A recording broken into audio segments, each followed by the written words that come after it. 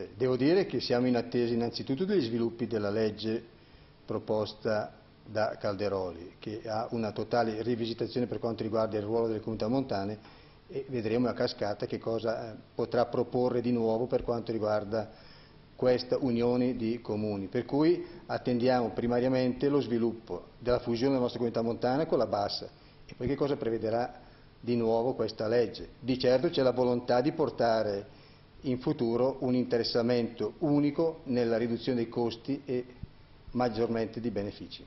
La valorizzazione del territorio attraverso l'ecomuseo. L'ecomuseo è una cosa a cui abbiamo già con una mia lettera eh, richiesto l'adesione per cui, visto che il nostro territorio è completamente a vocazione turistica, il buon Dio ci ha dato un territorio invidiabile, ricco di bellezze eh, da molti invidiati, fanno parte sia del Parco delle Robbie che anche di un protocollo d'intesa con la Val Sanguigno e il Parco delle Robbie stesso. Oggi gli amministratori devono sempre di più essere bravi a battere le porte giuste per portare a casa importanti fondi che sempre di più sono scarsi. Riguardo l'obiettivo 2, voi cosa state facendo? Ecco, l'obiettivo 2 è un'opportunità che penso sia ormai agli sgoccioli, visto che le risorse nazionali e quindi a cascata anche regionali vanno via via scemando.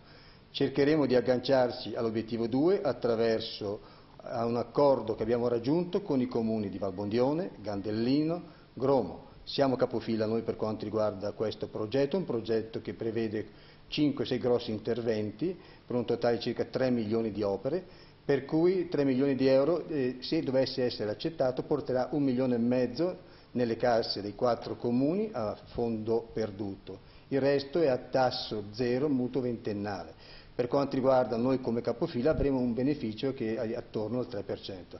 Con questo intervento, eh, se finanziato, porteremo sicuramente una miglioria per quanto riguarda la viabilità eh, ciclopedonale, meglio ancora pedonale, che parte dal centro di Gromo fino alla centrale di Aviasco, dove sarà posizionata un'area picnic e naturalmente un grosso parcheggio perché la gente che vorrà usufruire e fruire del Val Sanguigno, che sarà parco protetto, potrà andarvi tranquillamente. Ci sarà un secondo intervento all'altezza dei Bortolotti per chi va a sfruttare la pista dei Cinque Laghi. I comuni di montagna, si sa, hanno territori molto vasti, ma nelle casse non ci sono mai abbastanza soldi, non ci sono mai abbastanza fondi per avviare progetti. Come potete riuscire a governare, a sistemare, a riqualificare il vostro territorio?